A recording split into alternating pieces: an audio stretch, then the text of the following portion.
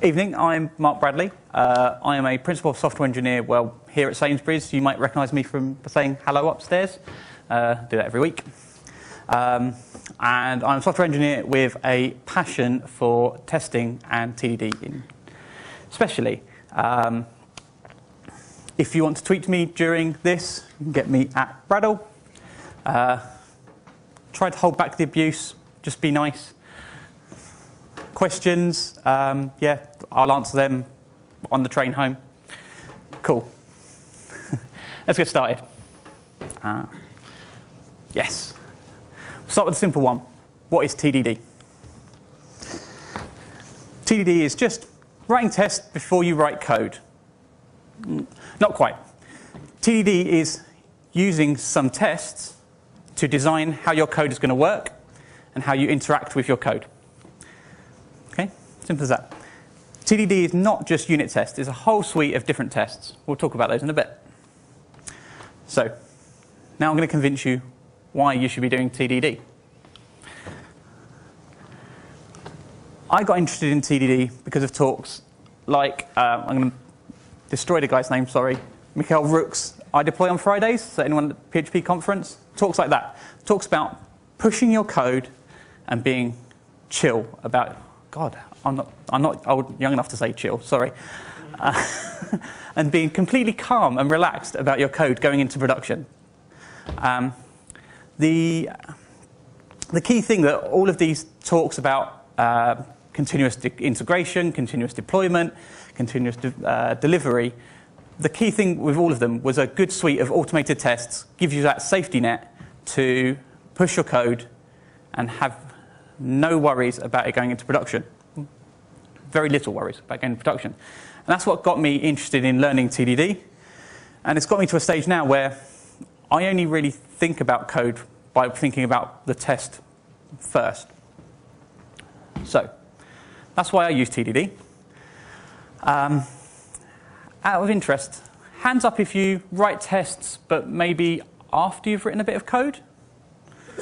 Lots of people, yeah. And hands up if you do write your tests and then write your code? Uh, fewer. Okay. So we'll start with if you write tests after you write the code, boring. The reason it's boring, I think, is because you probably know those tests you're going to write, they're going to pass. The reason they're going to pass is A, you're writing them to pass. B, you probably have manually tested the functionality in some way as you develop it. No one is going to just bash out some code and assume it works. You'll, I don't know, fill in a form, hit a web page, hit an API endpoint, run something in the command line first to manually test your code. So you know that those tests you're going to write will pass. Those tests you're going to write, some of them are going to be hard to write. Now, the reason those tests are hard to write is because your code hasn't been designed to be testable.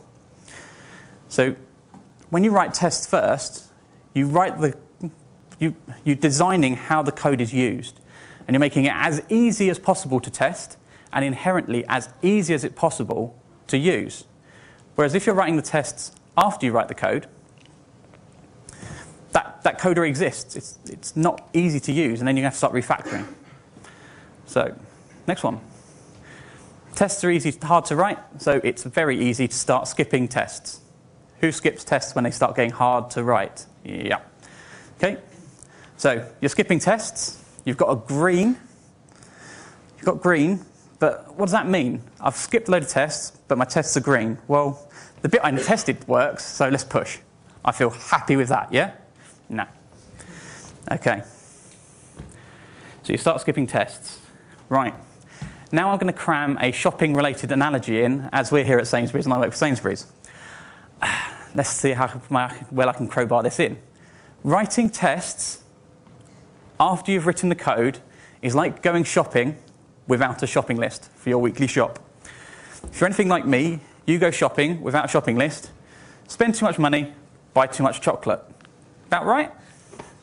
So, same works for your code. If you're not designing how your code should work with your tests, then you're going to either miss features that you require shopping terms, you're not going to buy the things you need to cook your dinner tomorrow.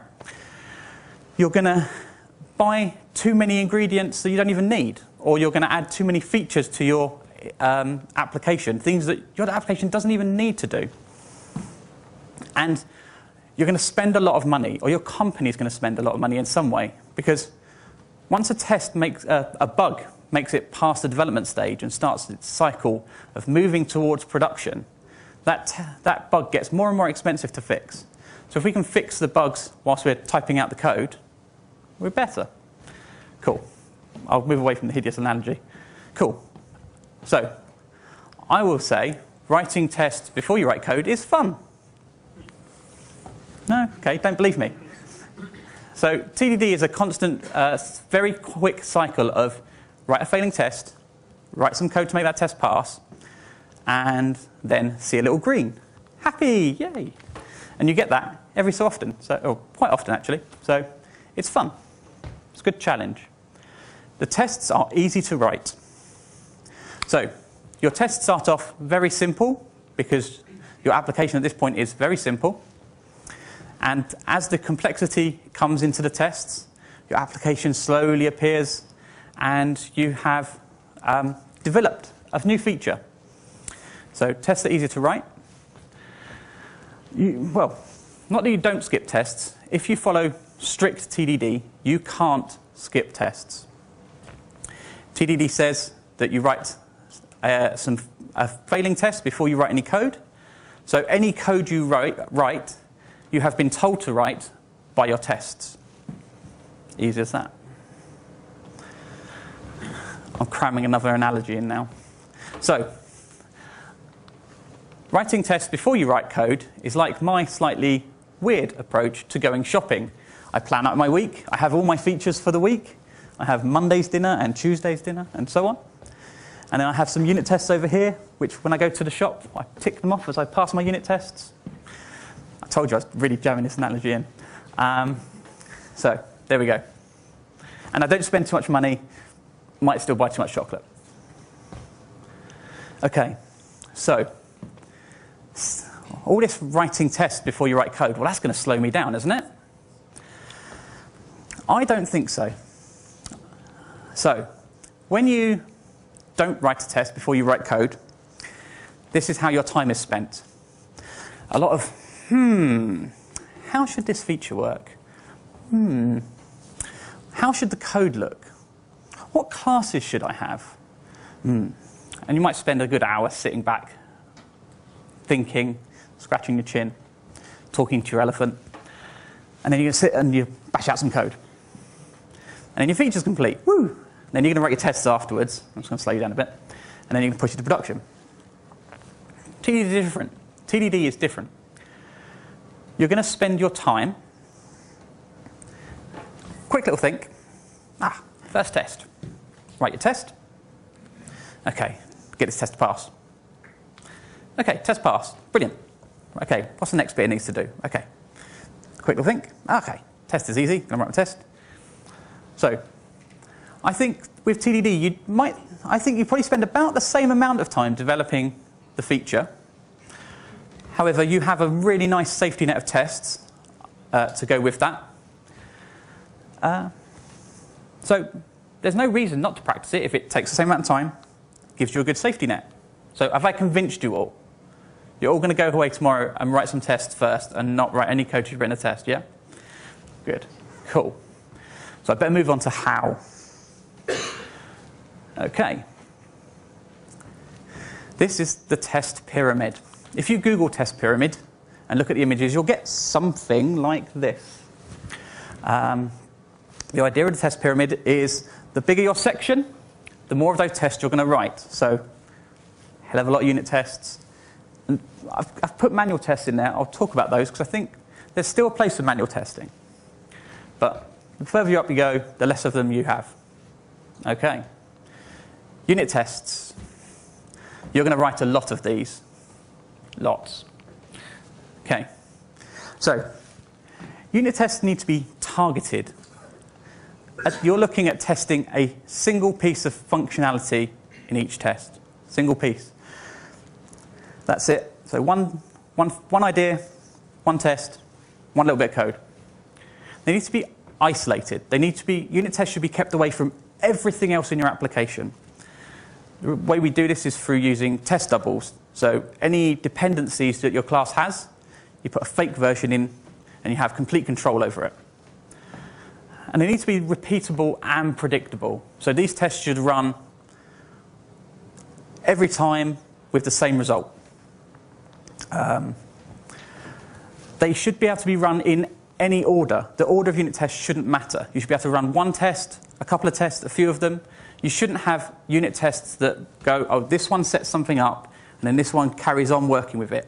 If you want a, um, when you're writing unit tests, you need to set up everything in the top of the test, then check everything, and then move on to the next test with a whole new set of objects. They should run amazingly fast. You're looking at minutes for an entire suite. Very few minutes at that. And like I said, if you're practicing strict TDD with, um, you should be able to achieve 100% code coverage with your unit tests. Cool. So we're moving on up now to the acceptance tests. Acceptance tests should be defined by your product owner, your, I don't know, your product, project manager, your business domain experts, basically. These tests ensure that when you create the feature you've been asked to create, they do everything the business require. That's it. And they should be defined, yeah, defined by your product owner.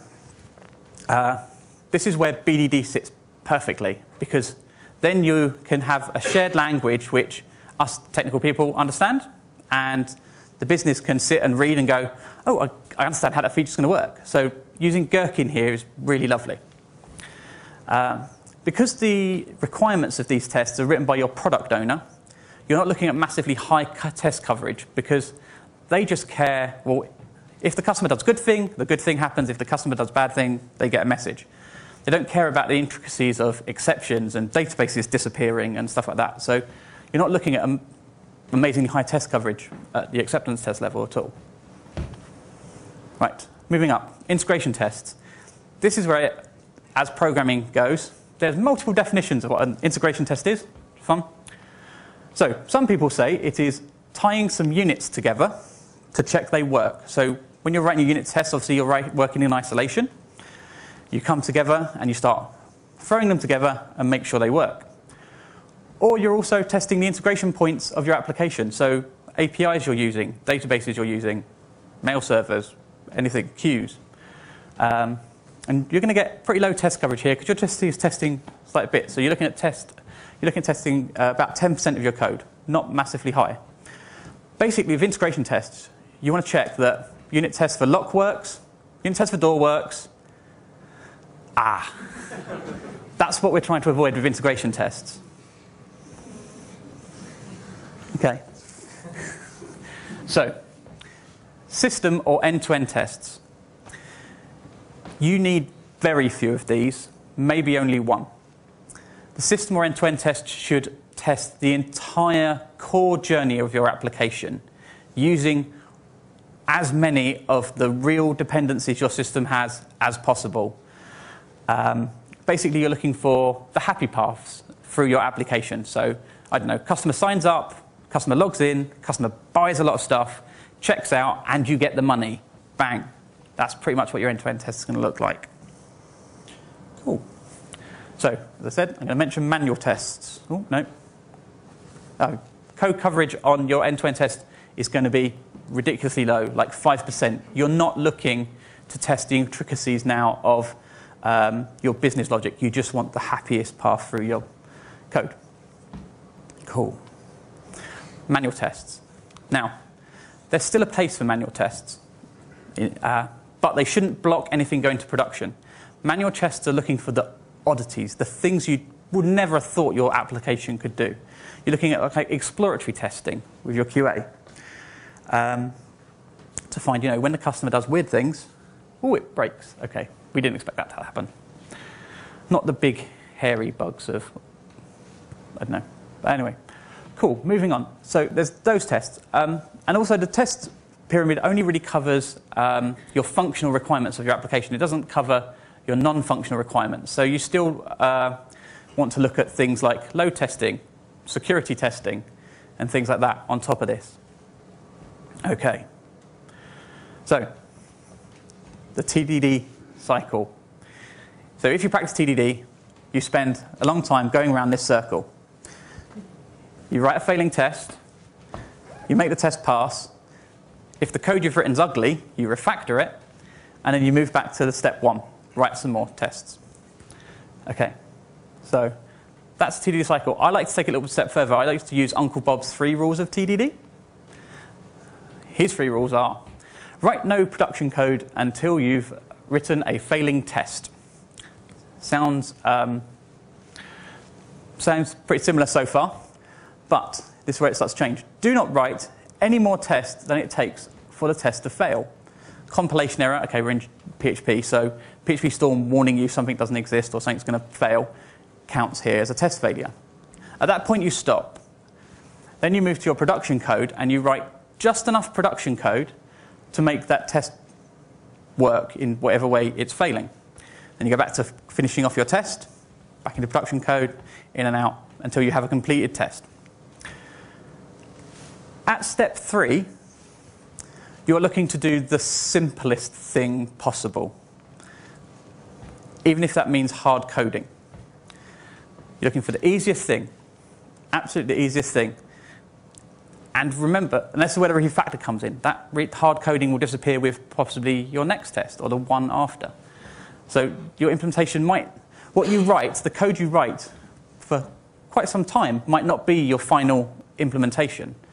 Um, it doesn't make sense, but I'll do a demo in a minute and we'll see. Cool. So that's the TDD cycle I talked about earlier. We talked about these acceptance tests. So I think this is more what it looks like. So first of all, I like to work from an uh, outside-in approach. So big acceptance test from my product owner start writing that. Ah, I need a new thing. So I'll start unit testing that thing, and I'll go through this cycle round and round, and I'll pop out and I'll go, okay, bit of my acceptance test passed, move on to the next bit of the acceptance test. Okay, I needed to do that. Oh, I need another new thing. Round and round inside my unit tests, and then back out. So unit tests will be passing every minute or so, whereas your acceptance test might not be passing until towards the end of the day or a couple of hours. So so that's what your life looks like doing TDD. It's fun, promise. Cool. Okay, so now, how do we lay out a unit test? So unit tests, to make them nice and readable, uh, we can use the arrange, act, assert pattern. Really simple. First thing you do in your unit test is you arrange all the things you need to run. So in here, I am setting up two instances of an integer, one with the value 5 to a uh, value, uh, variable called 5 and one with the value 4, a variable called 4. And then I want to act upon those. So I'm going to put the code that I'm testing under test. So I check that 5 is greater than 4 and assign that to a variable, and 4 is greater than 5 and assign that to a variable. And I check my outcomes. It's as simple as that. So that's what a test looks like. Cool. Okay, now I get brave. Ah. Right. Let's start with absolutely no code. Cool. Okay. So, we're all British, so we all know what a queue is, so I went with one of those. So we're going to implement abstract data type queue. Um, I tried to come up with a way of doing acceptance testing and diving down into it, but we'd have been here for a week, so I didn't. So we are going to implement our queue um, to make it fun, I'm going to add some restrictions on us. All those lovely PHP array functions that help us, they're gone. They don't exist anymore. Um, uh, so that makes it fun. Uh, second thing I'm going to do is, do you know how we like to do things like this? Dollar array equals new array, and then we assign like this. Oh, array square brackets equals thing thing, bad typing. This doesn't work anymore either. Unfortunately, today, you have to know exactly where you want to put it. So you want to put it in the first location, you add a zero. You want to put in a second location, you add a one. Okay? Now, you all think I'm brave for about to do live coding examples. Ha ha ha, you're writing the code. Right, okay. I shall start with the first test. So, new test, Bang. Right, we, let's start nice and easy. What should our queue be able to tell us? I'll tell you what, let's see if the queue is empty. So we will do test empty queue. Okay, so simple so far. So we can whoop, add a new, make a new queue. Let's call it empty so it's very clear what it is. New queue. Cool. Simple so far. Okay. So dollar this, cert uh, true. Dollar empty is empty. Bang. Happy? No. Oh. Okay, yeah, true. Let's do that. X, save lines of O. Uh, uh, I'm, I'm getting ready for Brexit. Uh, is empty.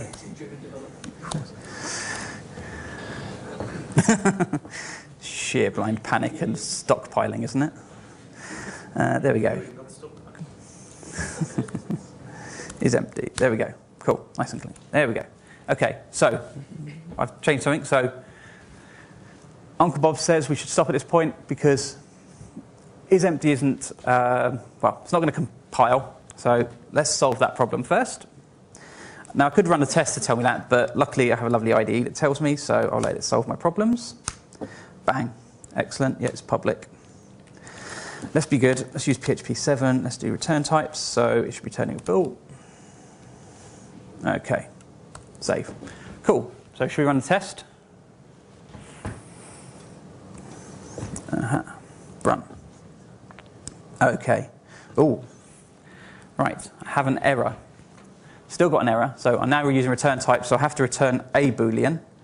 So let's make it do that, shall we? Return. Oh, uh, let's return false. Uh, boolean. Okay. So our code will now compile. It's good, valid code, so we can run our tests again. Uh, run from here. Okay. So we're expecting true, we're getting false. Yes, thank you.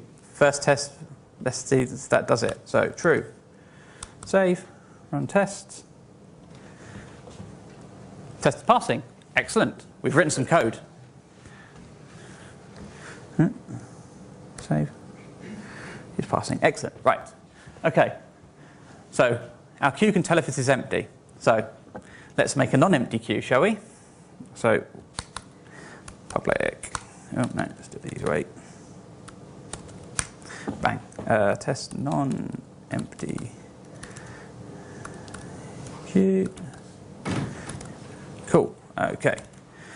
Right. So make it nice and simple with naming. One. We'll add one thing to our queue. Uh, it's all right. We're British. Someone will join it soon. Here we go. Queue. Uh, dollar one. Well, we join a queue. We can use push and pop, but everyone joins queues. Uh, let's add Dave to the queue. Okay, so, well, our code's going to error again. Our IDE is telling us it. So we'll solve the problem. Yeah, Alt Enter. Add a method. Yeah. No, let's not call it string. That's not a great thing, is it? Let's call it person. There we go. Uh, doesn't return anything. Void. Be really good. All the things. There we go. Um, so tests will never return anything. Um, so yes, you could do if you're being really good. Um, yes, PHP 8 only requires it at the moment on uh, setup functions and stuff like that. Return void, you might find out in a minute. We'll see. Okay, cool. So our uh, setup is done. So let's do uh, is not empty equals dollar one is empty. There we go. Cool. So the assertion is nice and easy again. So dollar this. Oh, thank you. See, live coding. It's the joys of mob programming. Everyone joins in. Cool. I'm not joking. I wasn't. Yeah, thank you. I didn't mean that to be rude. I realised I come across rude. Sorry. There we go. Cool. Okay, so we'll run our tests again. Okay. Who wants to volunteer and tell me the easiest way to make both tests pass? That's not true. Well, the ease is if you set a join, you just set a flag that doesn't have intermittent. So just Just add some random. Sometimes it will pass. we said repeatable and predictable. I won't tell you about the code I saw where someone extended PHP unit to add assert roughly, which took an integer or took two floats and then it was close enough so that it passed. there you go. So yeah, repeatable and predictable answers. So your suggestion was to add a field? Yeah, out of the field. Yeah. Tell it whether it's empty or not. private. Guy's name is empty. Uh, we'll default it to true to make our life easier, and then we can just return it. Uh, no.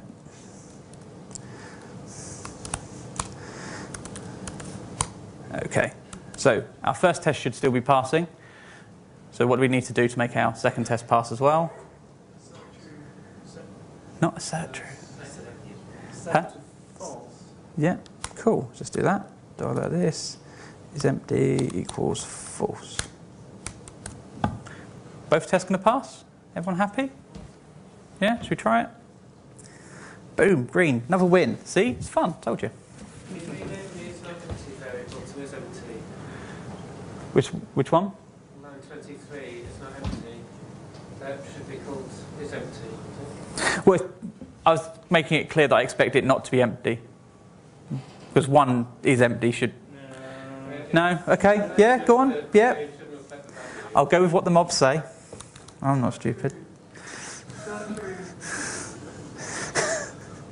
Shouldn't be here, man.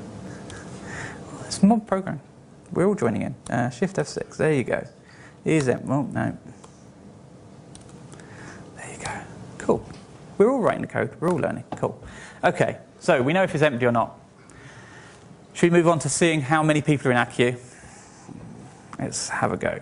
So we'll start with our empty queue, shall we? Let's check there's zero people in our empty queue. New test. Uh, empty queue size. Okay, so quick copy and paste job, save me some time. Go. So size equals dollar empty size. Code's going to fail again, so let's uh, solve that problem. Add the method. Will be good. It turns ints. Let's pick a nice default. Oh. Negative one. Never going to have neg- no people in uh, negative amounts of people in the queue, so that's a good way to start. Okay, test looks good again. Everything's valid code, so she'll move on. Dollar this. Uh, assert equals zero dollar size. Okay, all looks good, so we run a test. Uh, okay, some reason my hard coding didn't work. How do I fix this? Easiest possible way. Thank you. Yep, minus one to zero. Mm. The hard coding feels weird at first, but you get used to it. Um, and you just slowly build up functionality. So here we go.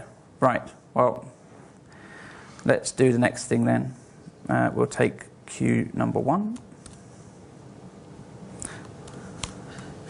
And new test method, uh, one queue size. Let's do this. Okay. So, uh, got queue, got one person in it, got size equals dollar uh, one size. So we'll write our assertion. So equals one dollar size. Cool. Nothing's erroring, so we can run the test and be all good. Okay. Answers on the postcard. Go on. Okay, you do an int cast for exclamation mark in front of end. So an int cast, yeah, of exclamation mark, Exclamation mark, yeah. Oh, no, cool. Lazy, lazy. Yeah, yeah, yeah, yeah. No, no. There you go. That's pass. Excellent. Thank you, Derek right? Okay. Let's move on to our next bit, shall we? Okay. Uh, let's make a new test. Okay. And this is fine. Like, challenging yourself to find weird things makes the day fun. So we'll do uh, 3Q. And see, here we go. Right, so uh, dollar three.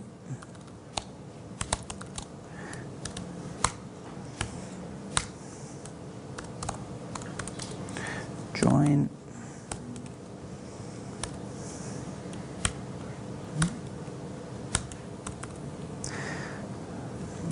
Dave,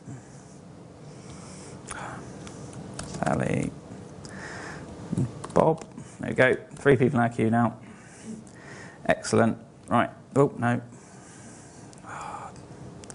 No one checked out the typo. Come on, you're not a very good mob.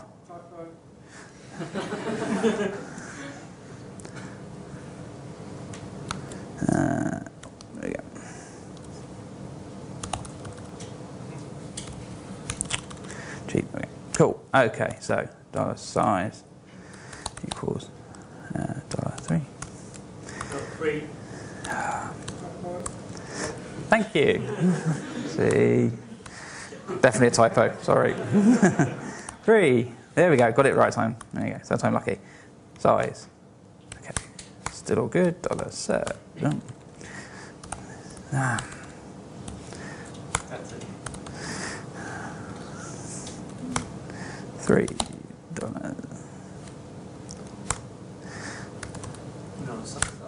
Oh, yeah. I would have done it. Cool. Okay, so we know this is not going to pass. Come on then. Check all stack in the size function. If it's all from then return. But that's not the simplest possible thing. No. you do counter. We'll add a counter now, yeah. So let's add a counter. So have a nice private size zero. Okay. Then we're gonna increment it in our join. So dollar this size plus plus. Plus, plus, plus first. Okay. The mobs say. That's how we got Brexit, isn't it? but I shouldn't make political jokes. It's going to go on to the internet, isn't it? Can you cut that? Um, cool. Yeah, don't need that. And we'll just remove, return this size. Save. Cool. You know running PHP 7.4, right? No, seven three. I think. Don't know. Uh, don't know. I'll have a look in a second. I think seven two. Somewhere around that. Cool. Our test is green. Okay. But now we need to talk about that ugly code bit. So it's absolutely hideous, isn't it? Um, ooh, I, th- I think we can do a bit of a cleanup at this point. I think I can get rid of the is empty. So I'm going to do that now. Well, so we know that if the size is zero, it's empty. So let's change that. This is empty. Oh, no, sorry. So hang on, someone's going to say it, isn't it? Zero equals equals dollar this. Run the right way, everyone. Thank you. Size. Okay. So there we go. So now we don't need to set it when it comes into here. So we can get rid of that.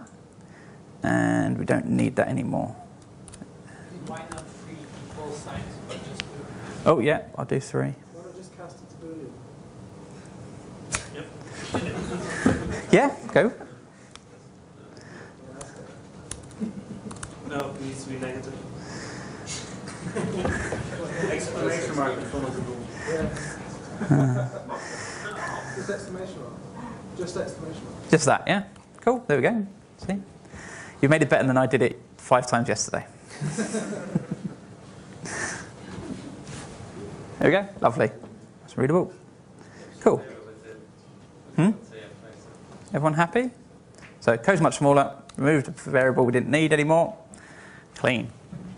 Although our tests are getting big, and I did a lot of copy and pasting earlier. So we can resolve that problem next. So let's make our test a little bit smaller. So uh, who was mentioning the setup needing a void? Uh, new setup method. Oh, this doesn't. Uh, not that good. It's hang on. Override method. Mm, bloody hell, there it is.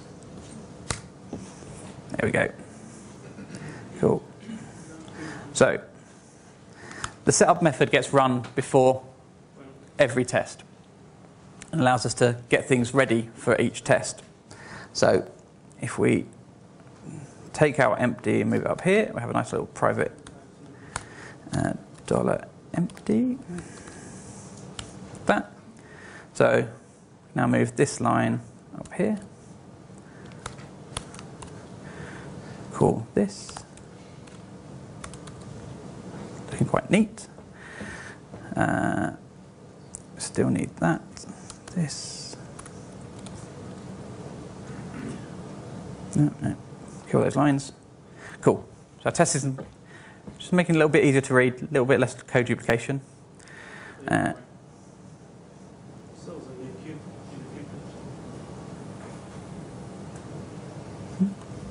Cool.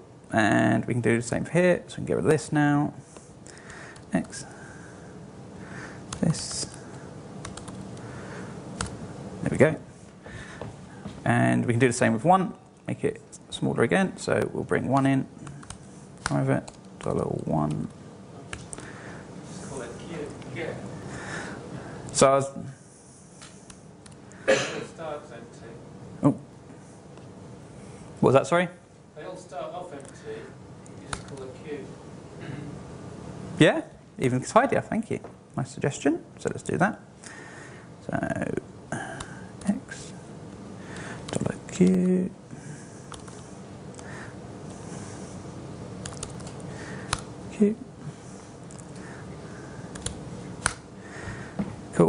That is empty. Da, da, da. One dollar this q uh, join. So refactoring doesn't just cover your code, it covers your test as well, keeping your test nice and readable, makes it easier to write tests as you go. So there we go. Um, I'll get a cheat and quickly make this a small one-liner. Done like this. Q. Uh, we're doing is empty. It doesn't know it's a Q anymore. Make my life easier, please. Thank you. There we go. Okay, so I won't finish all the tidying up, but you can kind of see where it's going. Um, nice and clean, making everything a little bit easier as you go along. Okay, so let's move on to the, the, the real reason we join a queue to get served. Let's do that. So let's start with our empty queue. So new test method, test uh, pop empty. Okay, so need to make a decision now. Need to start and design what we want our queue to do if we try to pop on an empty queue. Do you want it to return a null or throw an exception? Exception? Cool. Let's do that then. So we can assert that uh, this uh, exception, expect exception. There we go. Want a specific type, or should we just use a default? I think it's going to be easier, isn't it? Do default uh, uh, exception. Oh, bloody hell. Yeah, there we go. So check that the exception class is thrown when we pop on empty. So this slightly mucks up the arrange act assert because you want to you have to set up to check your exception happens uh, before you do anything. So your assertion comes at the top at this point, but there's no way around that. You can do a try catch, but You can use an annotation can yes, you can also use annotations. So yeah, Those are deprecated. It's deprecated. it's deprecated. Uh, see, this is what you let happens if you let speakers join in your talk. Uh, cue, pop. There we go. Okay, so pop doesn't exist, so we'll solve that. Public. Uh, good, it's going to return string. Save. Okay, and we can run the tests. Okay. Well. I did a refactor and forgot to run my tests. Aren't I bad? It's okay. Uh, size equals. Q. Oh, yeah, thank you. Empty. Uh, See. Pair programming, mob programming. Someone there to be your second brain. Always good. Excellent. So it's uh, yeah, back to being good again. Okay. So we're expecting an exception. So easiest way to make this solve, not someone at the front. Throw the exception. Yeah, simple as that. So when we pop, throw new.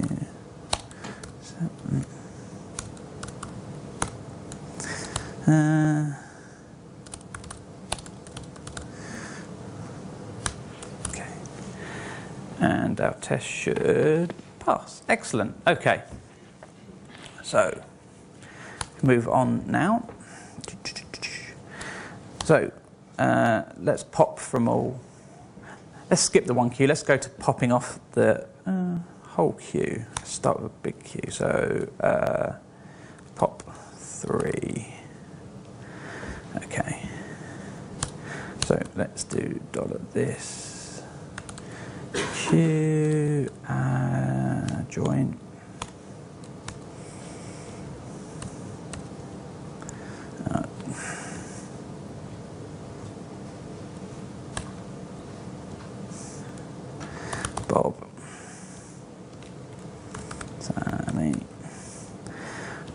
So I'll come to you lot now, uh, Dave. Let's have some suggestions on what our assertions should be as we pop. Value Yep, and So- size. value. So let's save some lines. We'll do dollar this. Uh, so equals. So when we pop, first one in our queue was Bob. So Bob should be there. And we do dollar this. Q. Pop. Okay. And then we can check the size. Let's be good. Let's quickly add that.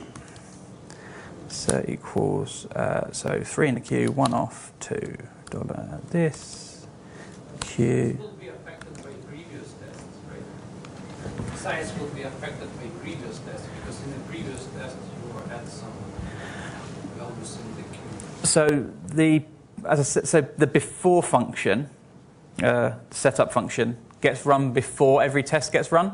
So eh, before every test, there's a whole new instance of the queue. So our, the, basically, the, the first line here, we have an empty queue every time. Okay, and we'll check the size. Okay.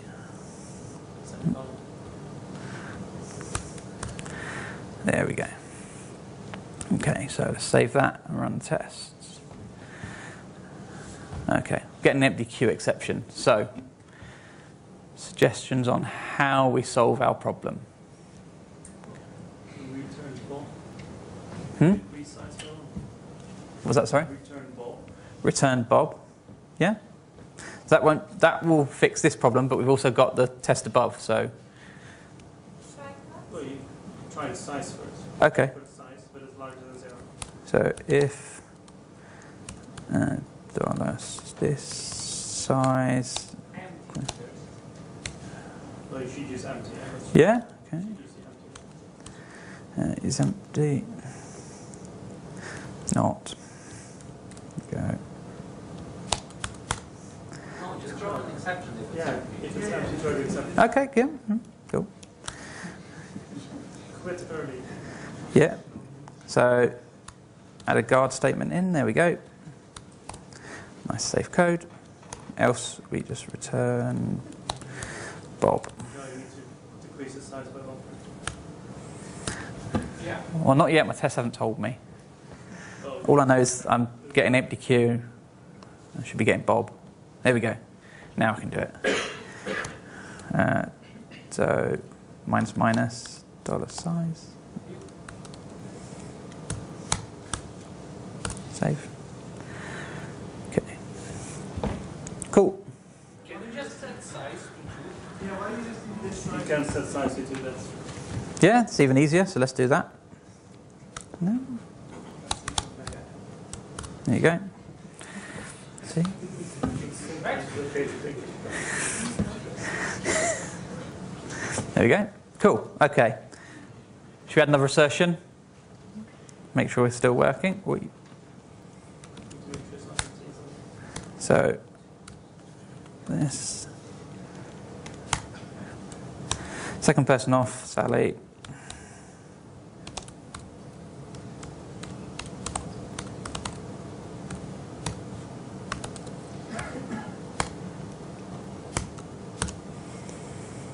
Okay, and we'll check the size again.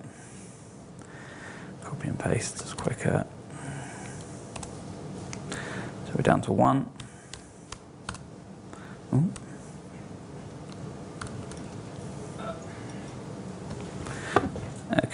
Okay. Ah, Can we change, so, Why don't you change the name to be the top of the queue? The first item. You don't have to hardcode it. If you know the order you insert the items into the queue, you get the first one every time you remove one. so what's the. Instead of returning Bob, Yep. return the first item on the queue after you remove one. Okay. Because you're removing the top one, so the second one gets to be the first. Okay. You can remove that instead of hardcoding it. So should we add an array now to put that? Because at the moment we haven't got anything to store it. We've just got some really weird hard-coded stuff. so, we could use a key object just to, what was that? Sorry. we could use a key object just to the, right from the head of the queue. So we could use a queue object, but that's definitely cheating for this. And I did say we were going to use an array, so let's add an array in. Uh, we'll call it people. Right. Okay. So we need to add people to our array. So we can do it in the join. We can start throwing them at the array. This is where this, uh, switch this to the other end now go, which allows me to do this. Uh, people. So I said no magic PHP helpfulness now. You have to know the index, so size. Dollar person. So, That word, you, you will increase the size yep. and set the first person to be at position one instead of being at position two, as it should be. So, What Wh- it is Yep. is people resize to use the position zero Yep. equals to person and then increase the size. so this that's what this does. So, if you have the double plus beforehand, it increases the size and then returns, so it would return one. If you have the double plus afterwards, it returns zero and then increments. Don't think it works. You'll get one, but it be zero. For the first one. but it, huh? Should be zero for the first one. not one. That would give you one. No, it should be zero Yeah, no, that would sorry, that would give you zero. Sorry. So, give so You're right. yeah. Practice it five times. Trust me. cool. So now we can start removing things from our array rather than using this. So let's remove the hard coding. So uh, well, we can do this quite easily. We can do this in a one-liner still. So we can do Uh, well, actually, we can fix this. So we want to do return sort of this uh, people. Hmm. Now, size gives us the, la- the last, el- well, the new blank, the next blank element in the array. So that's not going to help. So think we're going to need to start tracking where the front of our queue is. Okay, so let's do that. So private dot front zero front zero. Okay. So then we can return this front. Okay. So now we should get Bob and Sally. Everyone happy? Let's run it. Ah. Still need to decrease, decrease the size. Forgot that. So, got this. Size. Uh,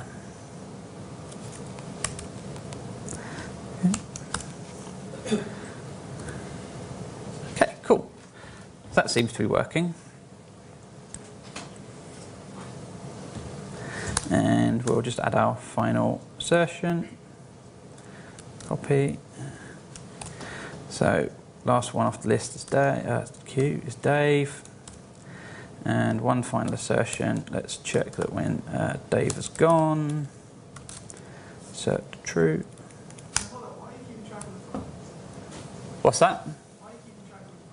So you need to keep track of the front and the back now because I'm not shuffling everything down the queue. At the moment, I'm very inefficiently using the array. So as people leave, basically the group of people in the array will slowly move along. So you'll have a very front, uh, very uh, empty front of an array, and then some people, and then nothing. Um, so TDD is about making the functionality work, not making the most efficient um, use of the uh, most efficient code. You can, so if you want to implement sorting, you can do TDD to implement sorting, and you'll probably end up with a bubble sort, and we can agree that's not the most efficient way to sort things. Um, but your test got you there to, to a point where you have something that sorts. Uh, same here. At the moment, we're not looking at the efficiency of the code. Um, we don't have any memory issues. We're not caring about the non-functional requirements, just the functional requirements of a queue. Okay. So, uh, set true dollar this is empty. Save. Okay, we'll run this. Oh, This queue is empty. uh, thank you. You shut it out before I don't look so stupid. there we go. Cool. Okay. So we have a working queue. I'm omitting the fit there. So there are more tests to add. Uh, this won't yet work if you pop and join and pop and join. But you all said you were going to go home and practice TDD. So go home and add the test for popping and joining and joining and popping and stuff yourself. Okay. That's not. Oh, my slides have disappeared. There we go. Cool. So, hopefully, I've shown you TDD is easy. TDD is fun. You get to shout at someone at the front. If you pair program, you get to shout at someone else. Uh, if you do it on your own, you just get to shout at yourself or your elephant. Um, cool. Word of warning. Don't rely, if you're brand new to TDD and you're going, this is good, I'm going to go and rely on this, I'm going to write a load of tests tomorrow for my code, I'm going to push it to production, everything's going to be fine. Don't do it. Um, lots of weird, when you're learning TDD um, and when you're practicing it, do it on a pet project first. Do it on your training days. Just definitely don't rely on it. Uh, I found some code that I'd written, and I happened to, in one of the tests, accidentally asserted that I'd set the mock-up correctly.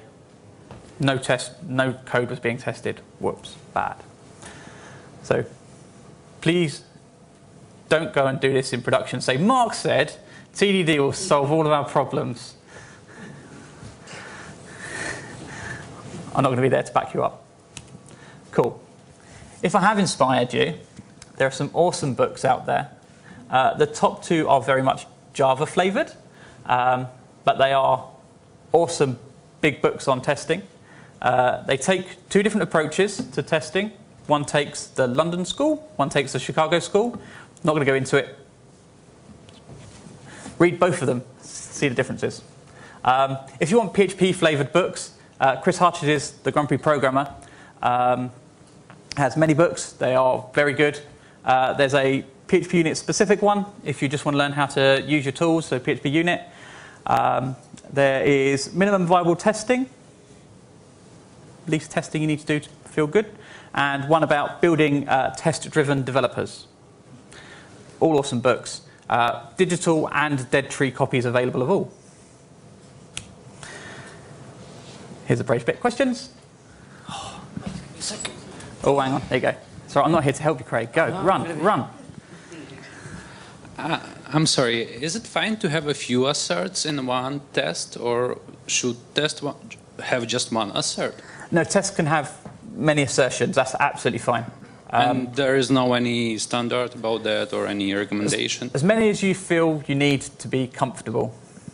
Um, you look, yeah, just basically you're looking to check everything runs as you expect and everything happens. So in that last one, we kind of, I could have moved them each into one, but we, we, we're going, we're popping, so something should come off. We'll check that's happening, and we'll check the size decreases. That's absolutely fine, yeah.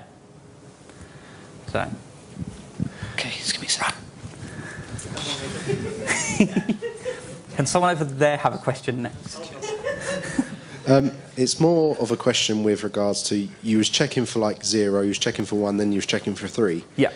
Would you kind of make a test that's more dynamic in the sense of if you wanted to check for five, six, seven, eight, would you create uh, a test for that, or the whole purpose is, is obviously be a bit more static and be a bit more? I want to know if there's going to three and that whether that works. So you you could do something dynamic and randomly select a number, but it's that that simple re- repeatability. If you have three lines that you've definitely written that add something, then you know that's you know it's just simpler. So yes, you you could do that, but I'd prefer to just write everything out. So Uh, thank you very much for a very good talk. Um, So, probably in our industry, uh, someone that has more than a couple of years already that knows that obviously there is a TDD or some kind of testing or production-driven, sorry, production bugs-driven development in Yeah. the end. So uh, that's why my personal question. So, from your experience of of probably a little bit of uh, more years than I do Yeah. uh, coding. How it looks for the industry altogether, for different projects that you worked on and for different companies that you worked in. Is there a hope for guaranteed software that will actually be working all the time? So TDD won't remove all the bugs. There will still be bugs, but TDD will get rid of the big hairy ones. Um, there'll still be the little bits that slip through. Um, um, and as for the industry, I'd like everyone to test all their things. Um, I want to know that when I'm hitting a website, the developers written some tests and I'm not going to have issues. So yeah, test all the things, everyone. Who? Oh, Uh, imagine the situation uh, before you uh, writing a, a single line of code, you're writing a test and it's starting to be complicated. Yeah. Uh, do you writing a test for that? When Um, you're writing a test, because uh, yeah, basically I was uh, found a situation when I was writing a test and uh, it was complicated, and I was thinking, should I write a test for that? So short answer, yes, you should write a test for that. Um, was the rest of the was it? Were you adding code to an existing code base that Uh, didn't have tests? Just a, just a, just a hypothetical uh, situation. Okay. For, let's So um, The, the, the, the test-driven uh, development, uh, designing your application, so uh, uh, the, the, the, all the ways uh, uh, you want to test starting to be uh, complicated. yeah. Uh, so the way I work, my I'm quite lucky. My product owner writes me out some nice gherkin. We sit together and make it unified across all of our tests.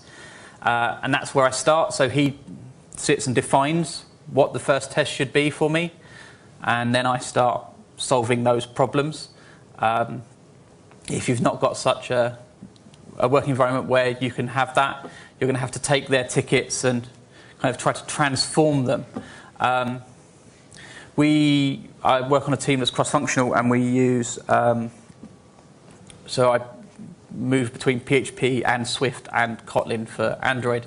And Swift doesn't have a BDD framework. You have to, so we have to take the BDD and convert it into a test. And yes, sometimes writing the, the first tests can be very difficult, especially when you're driving UI, um, if you're starting at that level. Uh, but I think as you learn and persevere, you, it's a, so TDD is kind of, you've got to learn two things. You've got to learn the technique, but then you've got a whole new tool set that comes with it.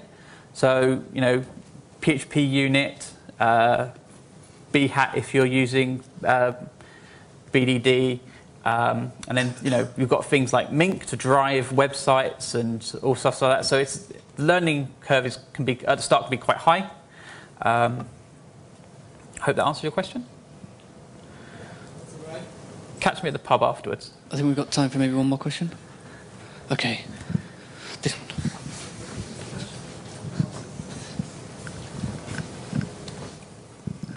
What happens if you just write bad tests?